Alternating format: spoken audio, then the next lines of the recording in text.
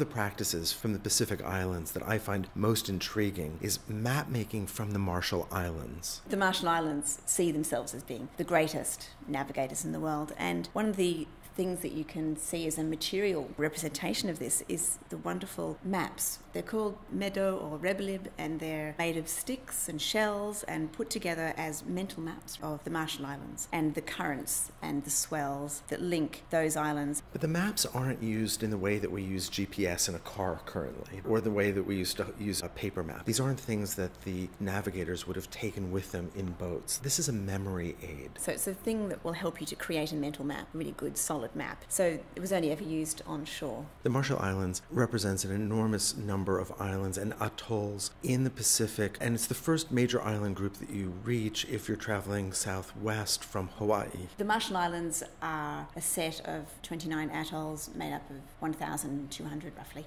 islands, and it takes up a space of about 2 million square kilometres.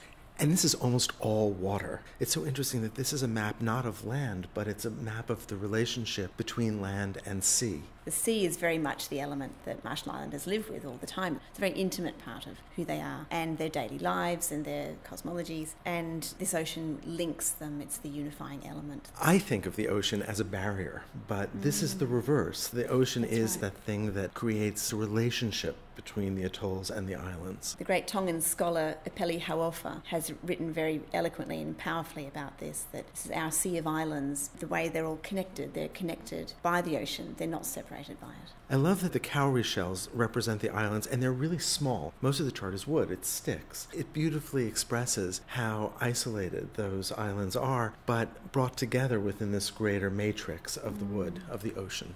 Each one of these charts is different because it's made by a navigator to represent the way he sees this ocean with its islands and how to get between them. And this one here is one that was collected by Robert Louis Stevenson. The author. That's right. He and his family travelled to the Marshalls. He bought this here or was given it, and then later on it was sold in his estate. It seems impossible that you could create a map of the open ocean, but the way that these function, in a general sense, is that they're registering the swells, the currents, the landmarks of the open sea. In most of the charts, you'll see there's these curving sticks. Those ones are like the echoes of the swells and the waves out from an island. So when they hit an island, they then echo back out. And then you can see the longer sticks are the ones which are currents, and there's also sticks which are like the pathways from one place to another that the navigators wanted to emphasize. It makes sense that the chart is recording the way in which the water is responsive to the islands, since these islands are low and probably can't be seen until you're right up against them. And that's one of the great skills of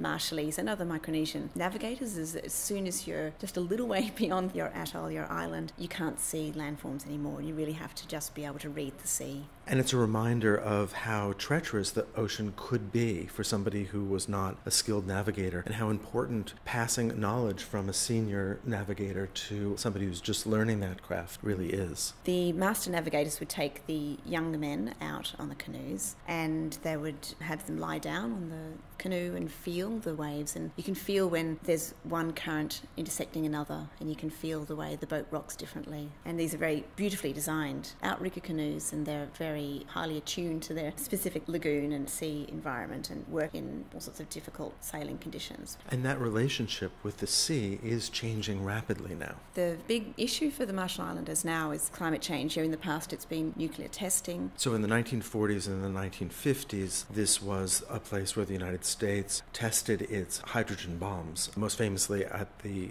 Bikini Atoll. Marshall Islanders are still living with that legacy, and there's still testing going on, but not of nuclear weapons. It's more you know, ballistic missiles now. But part of what has come out of that is that there's this compact of free association between the Marshall Islands and the United States, which means that the people from the Republic of the Marshall Islands can actually live and work in the States. One can only imagine what a contemporary map would look like now, one that spanned not only islands but actually nations. Certainly, these maps are now fulfilling a very different role. They're much more about navigating identities and connections to place. They are put on people's walls. So, if someone from Majuro, you know, the capital of the Marshalls, moves out to New York, they might take one of these. So, I've been working with Tina Stege from the Marshall Islands for a number of years, and she wrote a beautiful piece to talk about climate change.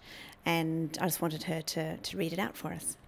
I called this We Are Navigating Threatening Seas.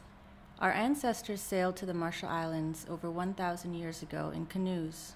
It was a feat of wayfinding that sustains and inspires those of us now looking for a way forward in threatening seas. This is also a story of our children and the generations to come. What will it mean to them to be Marshallese? Will they know the names of their home islands and the wado, the land parcels that bind us to the earth and to each other? Will they think of the ocean as a part of themselves? Will it be a source of sustenance and a vast network of waves, each with names, leading like roads to other islands? Will they know the smell of mang, the pandanus fiber we use to weave everything clothing mats, baskets, the small flowers we wear in our hair? What will the world be like for them?